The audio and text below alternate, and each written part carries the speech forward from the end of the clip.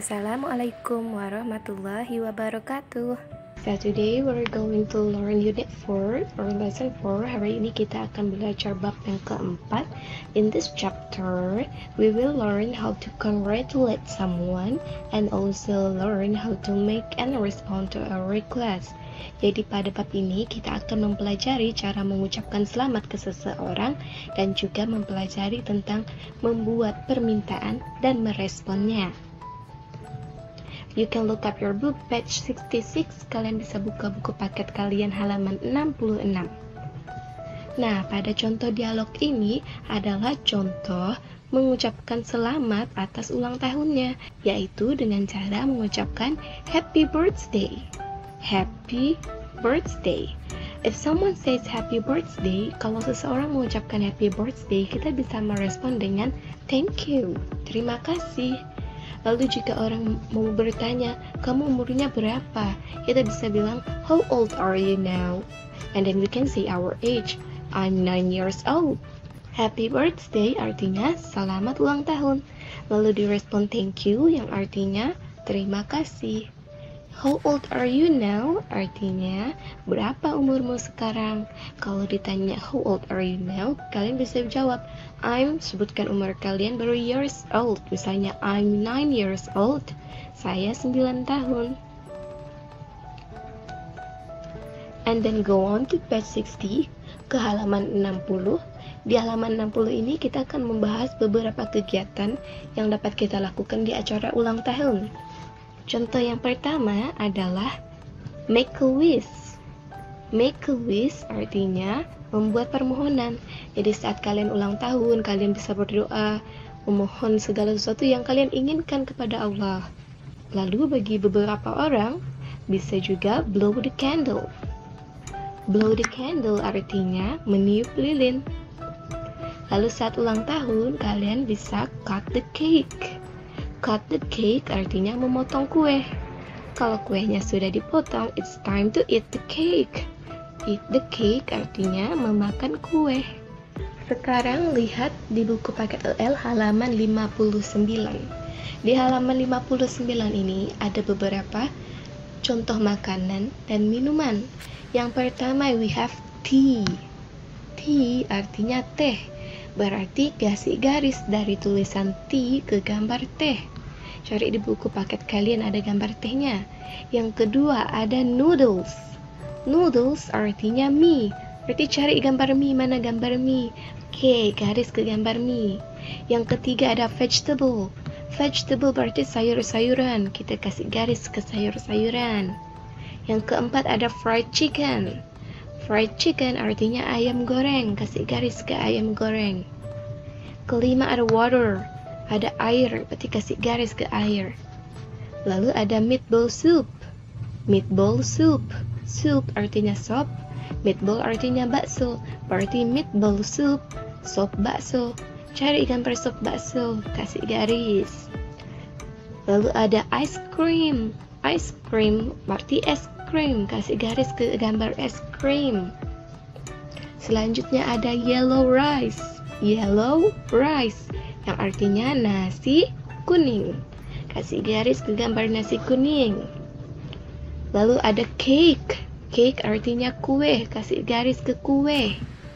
Terakhir ada juice. Juice artinya jus. Cari gambar jus. Lakukan hal yang sama kepada buku kalian yang di halaman 59 menggunakan pensil. Kalian bisa mempause video ini untuk menggaris di buku kalian. Kalau sudah, lanjut ke halaman 62. Di halaman 62 ada jenis makanan dan minuman yang dibedakan panas maupun dingin. Contoh yang pertama adalah hot tea. Hot tea. Teh yang panas, hot, panas. Selain hot tea, we also have cold tea. Cold tea berarti teh yang dingin. Berarti a hot pizza artinya pizza yang panas. A cold pizza artinya pizza yang dingin. Hot soup artinya sup yang panas. Cold soup artinya sup yang dingin. Sekarang ke halaman 61. Di halaman 61 ini adalah contoh untuk meminta sesuatu dan meresponnya. Nah, si perempuan, the girl says, May I have juice please? May I have juice please? Yang artinya, bisakah saya meminta jus? Nah, ini kita gunakan untuk meminta sesuatu. Jadi saat kita ingin meminta sesuatu, kita gunakan may I have, terus sebutkan benda yang kita mau. Di ujungnya kita tambah please untuk sopan santunnya. Contohnya may I have juice please. Kalau ia mau memberikan, direspon dengan sure. Here you are. Sure. Here you are. Yang artinya tentu ini dia lalu berikan barangnya. Kalau barangnya sudah kita terima, kita bisa bilang thanks, yang artinya terima kasih. Contohnya, kalau kita mau minta es krim, kita bilang, May I have ice cream please? May I have ice cream please? May I have ice cream please? Direspon, Sure, here you are. Sure, here you are. Kalau sudah diterima kita bilang thanks. Saya juga thank you. Kalau kita mau minta nasi kuning, berarti kita bilangnya May I have yellow rice please? May I have yellow rice please? Lalu direspon, Sure, here you are. Dijawab lagi, thanks.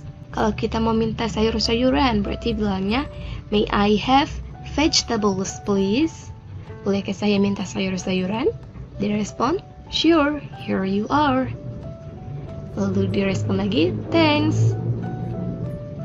Kalau kita mau minta ayam goreng, berarti kita bilangnya, may I have fried chicken please? May I have fried chicken please? Direspon, sure, here you are. Saat sudah kita terima, kita bilang, thanks. Kalau kita mau minta kue, berarti kita bilang apa? Kita bilang, May I have cake please? May I have cake please? Direspon, sure, here you are. Kita balas lagi, thanks. That's all for today. Bye bye. Wassalamualaikum warahmatullahi wabarakatuh.